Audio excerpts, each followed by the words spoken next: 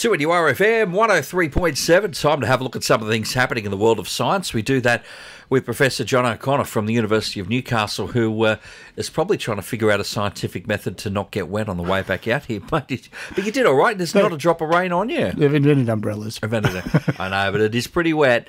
Um, plastics is something that for decades now have been the thorn in the side of many, and we've seemed to have you know tried to recycle some, and it, it is what it is. However, just by sheer luck and happenstance, uh, they've figured out a particular way to, or maybe apply a natural method to break some of this down even further. So we, will start, John, by heading into the the uh, hive of bees. That's right. It's uh, this is a classic case of serendipity, and that is the right person at the right place with the right background. And it's a scientist from the Biological Research Centre in Madrid, and he had a hobby. His hobby was keeping bees.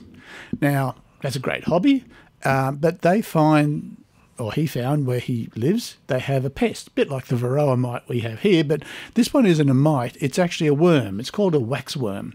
And it gets into beehives and it eats the wax and it eats the some of the honey and eats uh, some of the larvae of the mm. bees. I mean, it makes a real mess. I mean, I've seen pictures of the you know, it's hives. just not good. Oh, it's, it's, horrible. Anyway, so the method of cleaning it up is to pull pull the the, uh, the wax out or pull the, uh, the, the leaves out, you know, and and just remove them manually. So he's doing that. He's plucking these wax worms off the uh, the, the uh, hive and dropping them into a plastic bag. And after a while, he looked down and saw that there were holes in the plastic bag. wasn't keeping the worms in very well. Now, initially, he thought, okay, these things are chewing their way out. But after careful examination, which is something that a microbiologist might do, yeah, not you or me necessarily, no. he found it was actually their saliva was eating away at the plastic. And being lights, light bulbs came on, uh, I must say, this was five years ago he made this discovery, but over the last five years, they've worked their way through hundreds of proteins which are in waxworm um, saliva. And they've narrowed it down to two. And these two will uh, will dissolve or actually break apart the bonds in polyethylene. Now, polyethylene is the soft plastic, like the plastic bag he was using, the other soft plastics. And this makes up about 30% of the plastics that we create mm-hmm. and end up usually in landfill because the only way to currently break it down involves high temperature and mechanical means, and it's just not cost effective.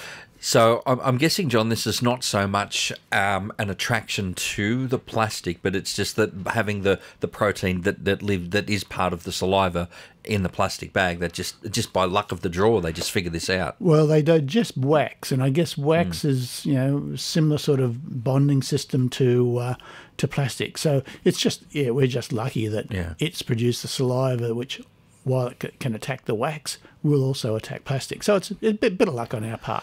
All right. Now, this this is kind of on, on back of another story we did a long time ago where there was another method to actually break down some of the harder plastics like water bottles and etc. That's right. The, the you know, water bottles, drink, uh, drink bottles, and so forth.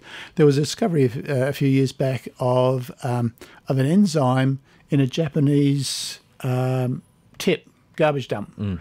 And they found, just by chance again, that this thing would uh, dissolve or break apart the plastics that made uh, the hard plastics, PET bottles and so forth. And again, that's another big component of, of our waste stream. And the benefit of both of these, first off, it, it does it um, at low temperature, does it room temperature, doesn't require a huge input of energy. It'll do it naturally. They can identify, once they have identified the enzymes, they can uh, refine them and pr- produce this them.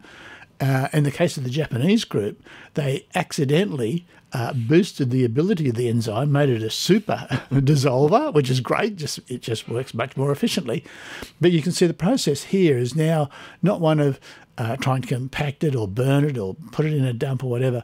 It's a process where we can get into the circular economy, where you know this plastic comes in, it goes through a process, gets broken back to its, its, its component parts, and can be reused. It can be remade into plastic bags or into PET bottles or into into whatever.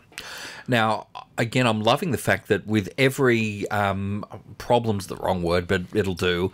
There is quite often a natural solution. We just haven't found it yet until yeah these two examples. So we've found a solution. Now, if there is a way to integrate that this natural process that's a low energy one into the circular economy and get it all moving I see that. You know what I see as the big win for here, John. Apart from everything that you've mentioned, can we please have the plastic bags back?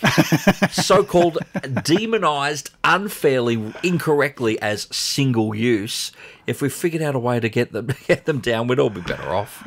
That's that's certainly one way of doing that's it. that's right. or, or there are other ways of making those bags that are are a lot uh, Yeah. more environmentally friendly between now and then. So Yeah. you know we've, we we need a stopgap, but uh, you're right. It's uh, it gives us a chance to start uh, making a circular economy, Yeah. and so your plastic bags come back to you as plastic Mm. bags or come back to you as something else some other form of plastic that we use because plastic I mean plastic is a really valuable product for us Mm. and you're right we don't want to demonize it we want to uh, find a way of, of reusing it so these we won't call them problems these challenges are out there for people to solve The and with the ri- Mm. right yeah. situation the right time we might find the solution And it all started in a, a beehive this time around. this time around and the garbage dump the previous all right, John. As always, a pleasure. We'll catch up with you in a fortnight, mate. Thanks for coming in. thanks mark There he is, our professor of science from the University of Newcastle, uh, solving another challenge for us today at 2NURFM 103.7. a broadcast service of the University of Newcastle.